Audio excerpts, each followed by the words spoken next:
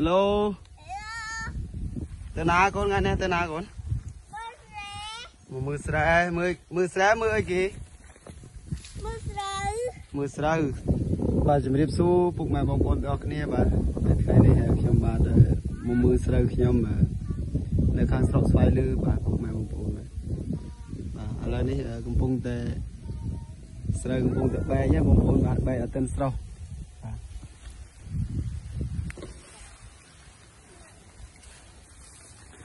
ស្រូវផ្ការំដួលបងប្អូនបាទនេះហើយស្រែនេះមានប្រវែងអឺមកប្លង់នេះក្បាល37ម៉ែត្របណ្ដោយនោះរហូតដល់5ម៉ែត្រអឺ500ម៉ែត្របងប្អូនបាទស្រស់ស្អាតមែនទេបងប្អូនបាទកំពុងតែបែកទេសភាពបាទខ្យល់ហៀហៀមកទំនងបងប្អូនអើយបានរឹង បានរឹងឲ្យចងក្រោមដើមនេះដើមបន្រោបើសិនបើសិនផ្ទះចិត្តតែផ្ទះខ្ញុំឆ្ងាយដែរបងប្អូនបាទនេះបងប្អូនបាទអឺកន្លែងនេះគឺ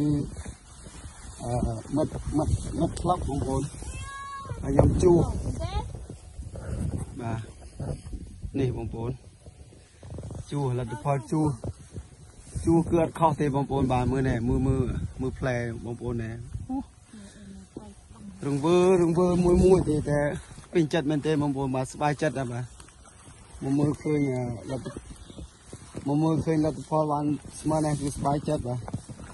គឺតែខ្ញុំព្រោះក្រោយគេទៅឆ្នាំនេះវាទៀងខ្លាំង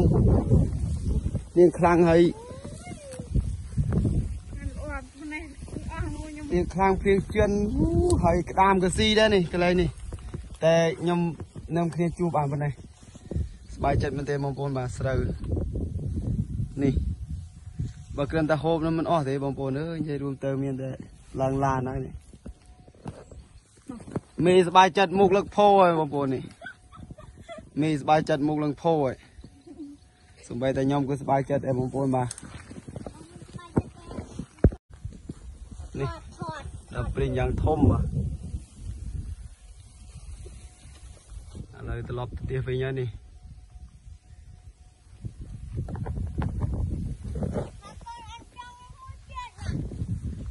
ឡូទៅណាកូនថ្ងៃនេះទៅណាកូនមកមើលស្រែមើលមើលស្រែមើលអីគេមើលស្រូវមើលស្រូវស្រូវអីប្រាប់ពុកម៉ែបងប្អូនមើលស្រូវអីការរំដួលដួល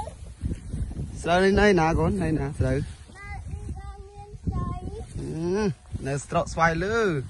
ត់ស្វ័យលើ ខេតអីខេតអីខេតអីតែទីរៀបតែទីរៀបដល់ខាត់បងទៅស្អាតណាស់បងប្អូនបាទនោះខាងនោះស្រូវនាងអមខ្ពស់ហើយល្អទៀតបងប្អូនតែស្រូវខ្ញុំដូចបាននិយាយហើយគឺខ្ញុំព្រោះក្របានព្រោះបងប្អូនបានថាកូនហើយមួយទៀតគឺឆ្នាំនេះអឺវាភ្លៀងច្រើនបងប្អូនភ្លៀងអត់មានពេលសម្រាប់ បាទដូច្នេះហើយធ្វើឲ្យអឺទៅពេលខ្ញុំក្រព្រោះទៅវាទឹករហូតដូច្នេះវាខូចហើយអាណាដែលមានអឺដោះមកហើយខ្លះហ្នឹងក្តាមហ្នឹងវាស៊ីអស់ទៀតបងប្អូនបាទដូចឃើញស្រាប់មកនេះរង្វើលនេះហើយស្រែនេះឆ្ងាយផងដែរក៏ខ្ញុំអត់បានមកជួសជឿនទេជួបានខ្លះបាទចាំចាំក្រោយធ្វើទៀតខាត់ក៏អត់ត្រង់ណាស់ទឹកមក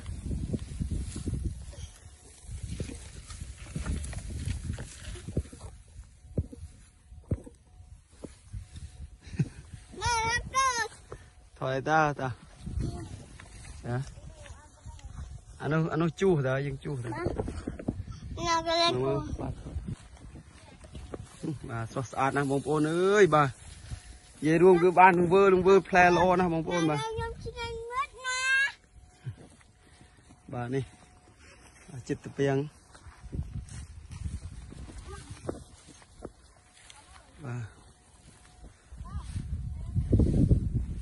នោះបាទអូមើលមើលផ្លែវាបងប្អូនបាទស្គូសស្គូសបាទ